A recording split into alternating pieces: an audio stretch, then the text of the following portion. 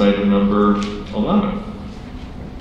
Resolution 2016-04, MnDOT authorizing resolution, federal Veterans Transportation Community Living Initiative.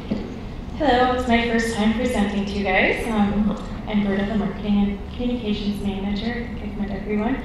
Um, Basically, this resolution is to give us permission to have a contract with MnDOT for them to give us money. They want to advertise on our buses, so we'll get about $3,000. So if you approve this, it's saying it's okay for us to uh, have that agreement with MnDOT.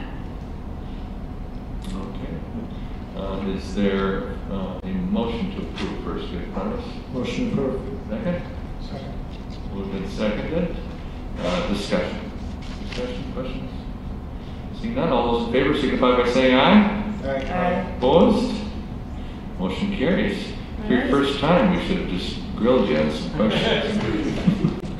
They were nice, they were kind. Maybe that's the way it's best to say, this is my first time presenting, that works. But now you're gonna be again, because I think you have items